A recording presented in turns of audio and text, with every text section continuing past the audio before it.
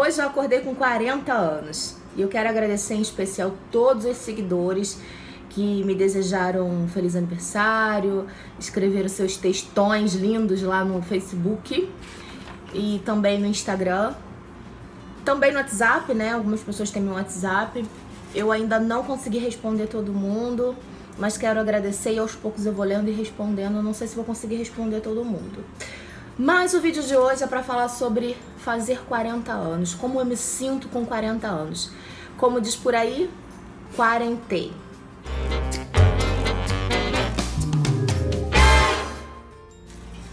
Realmente as coisas mudam, né? Eu tenho 40 hoje e me sinto de verdade como se eu tivesse 30 anos.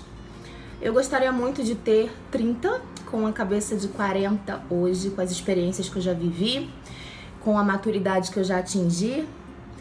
E muda muita coisa assim. Para você que ainda não chegou no, nos 40 anos, talvez te assuste. 40 anos, a sociedade te cobra de tanta coisa que aos 40 anos você precisa cumprir determinados papéis mas quando você chega aos 40, você sente que isso é tudo balela. Aos 40 anos, uma mulher sabe o que ela quer da vida dela. Ela sabe quem ela é, ela sabe para onde ela vai. Em algumas situações que antes me deixariam tão tristes, hoje não faz nenhuma diferença. A Umbanda, claro, ela me ajudou muito a me conhecer, a fazer a reforma íntima e eu tenho certeza que eu tô vivendo a melhor fase da minha vida. Eu ainda não tenho filhos, mas eu achava que aos 40 anos eu teria dois, três filhos. Eu não tenho filhos e sou feliz assim. Eu tenho uma história. E uma história que talvez se eu tivesse filhos, eu não teria vivido. Aos 40 anos, uma mulher pouco se importa se ela cumpriu os papéis ditos pela sociedade. A mulher que não decidiu se casar aos 40 anos, ela tá bem resolvida. Ela não se importa que as pessoas vão falar: Ué, você é solteirona? Sou bem resolvida e feliz. A Umbanda ajuda muito, gente. Particularmente, a Umbanda te ajuda a se conhecer. Claro, tem mulheres que aos 40 anos ela ainda não se conhece, ela tem muitos medos, ela ainda se cobra muito e se cobra porque outras pessoas cobram ela. E às vezes aquilo que a pessoa cobra ela, ela nem estaria tão feliz assim, mas ela precisa responder à expectativa de outras pessoas. Por isso que eu faço uma comparação de chegar aos 40 anos e ser um bandista, porque realmente muita coisa mudou na minha vida. E dentro desse vídeo, eu quero colocar uh, uma situação ontem, né? Que foi o dia do meu aniversário, dia 2 de outubro. Não se esqueçam que ano que vem eu quero muitas felicitações em todas as redes sociais. É, eu não comemorei com ninguém. Eu ganhei um bolo de uma seguidora lá de Caxias, Duque de Caxias. Eu moro em Jacarepaguá e ela acordou tão cedo. Ela acordou às seis da manhã, pegou dois ônibus e chegou antes de mim no meu estúdio para me entregar um presente. E pequenas coisas, gente, fazem muita diferença. Ela não é umbandista, ela é seguidora do canal, simpatizante da Umbanda, e ela me entregou um bolo de Oxum. Eu vou deixar o Instagram dela para vocês, porque se vocês realmente precisarem, a Ellen, ela faz bolos personalizados. Ela fez um bolo tão caprichado, com cada detalhezinho tão especial que deu pena de cortar o bolo. E ela tem uma profissão dela, ela começou a fazer por hobby mesmo. E eu acho mais bonito quem começa assim, porque é o dom. Eu falo isso porque eu sou cabeleireira. E muita gente na crise, no desespero, no aperto, quer bancar uma descabeleireira pelo dinheiro, não pelo dom. E eu valorizo muito pessoas que têm o dom e não foca exclusivamente no dinheiro. Isso faz muita diferença, sim. Eu vou deixar o bolo para vocês e vou contar um pouquinho mais dessa história.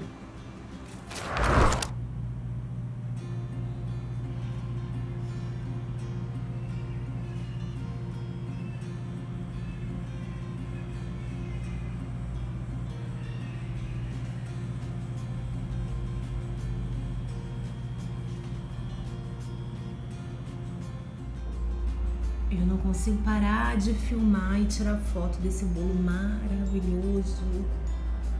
Bolo de Oxum. Oraiê, minha mãe Oxum. Então, como vocês viram no título desse vídeo, é, somente uma pessoa aceitou comer o meu bolo.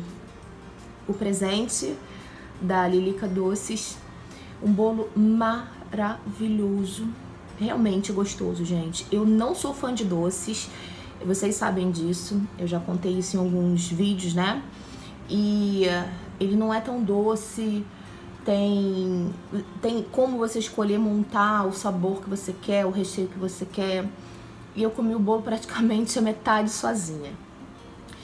E onde eu trabalho, é, eu ofereci bolo, esse bolo, para algumas pessoas que trabalham ali. Eu ofereci para as pessoas da minha família. Ninguém aceitou o bolo. Acreditem. A gente fala tanto sobre intolerância religiosa, né? que as pessoas acham que intolerância é só você ir lá e tacar fogo num terreiro, quebrar imagens, é xingar uma pessoa de outra religião.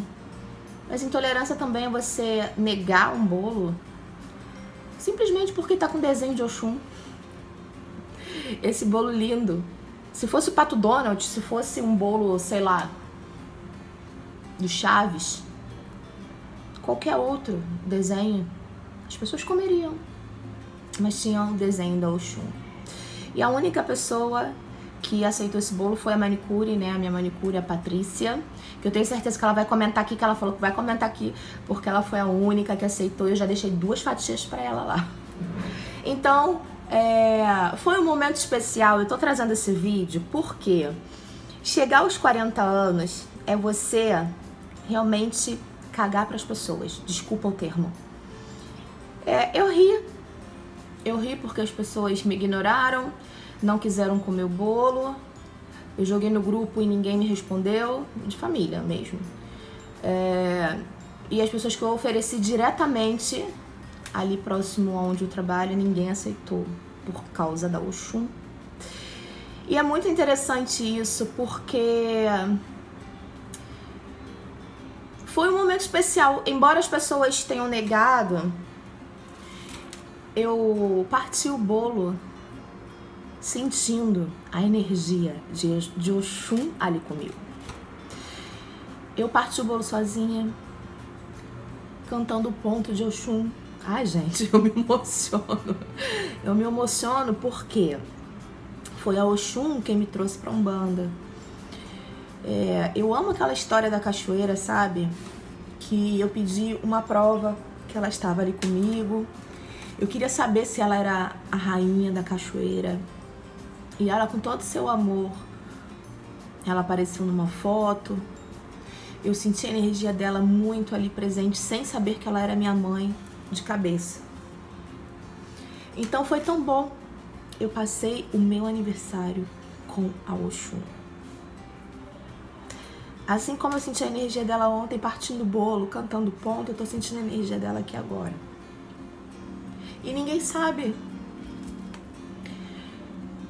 a alegria que é, o conforto, o amor.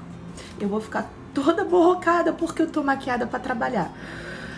Mas eu queria compartilhar com vocês que ainda vivemos numa sociedade com muita intolerância.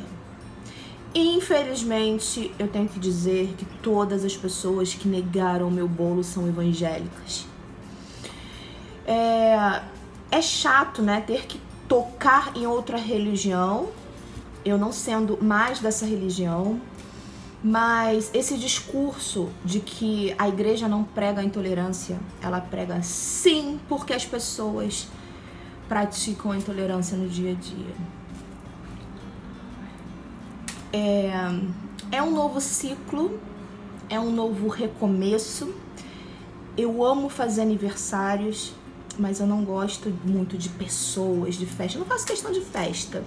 Quem sabe a partir do 41, né, eu consiga fazer uma festa, mas foi um momento eu e os meus guias. E é isso que eu queria deixar para vocês, a mensagem que eu queria deixar para vocês. Não se envergonhem da Umbanda. Não se envergonhem do seu sagrado. Aquilo que te faz feliz, são eles que te protegem, são eles que estão com vocês na hora que vocês mais precisam. Eu penso assim, naquele momento da cachoeira, eu duvidei da Oxum. Eu falei, se é que você existe mesmo, eu falei, você. Eu queria uma prova. E ela foi tão amorosa comigo. Ela poderia me punir se ela fosse, sei lá, como dizem por aí, justiceira, sei lá, qualquer coisa. Ela foi amorosa comigo. Então, ame o seu sagrado. Não tenha vergonha. Siga aquilo que você crê. E seja feliz. Eu sempre estarei aqui com vocês, compartilhando um pouquinho da minha trajetória na Umbanda. Eu tenho muito prazer porque eu faço isso de coração. E os poucos recados que eu consegui ler foram de pessoas dizendo que sentem essa verdade nas minhas palavras. Eu não uso máscaras, eu não tenho muito é, muita tecnologia para gravar vídeo para vocês, mas eu tenho verdade. Essa é a diferença. Agora eu vou cortar um pedacinho do bolo. Olha aqui como é que tá o bolo. Tá aqui, ó.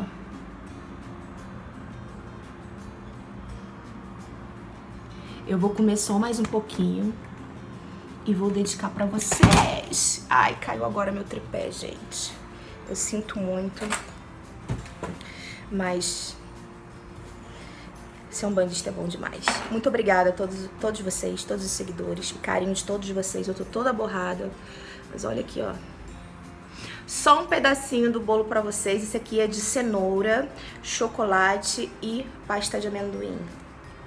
Um grande beijo! Hum. Axé. Saravambanda. A gente se vê no próximo vídeo. E podem pedir o bolo da Lilica Doces, tá? Porque, ó, nota mil. A gente se vê no próximo vídeo. Fui! Tá, tá, meu nome é Jéssica, sou de Juiz de Fora, Minas Gerais. Eu te sigo desde o começo, desde quando você falava que era evangélica. Te adoro, continue assim, se arrasa sempre. Beijo.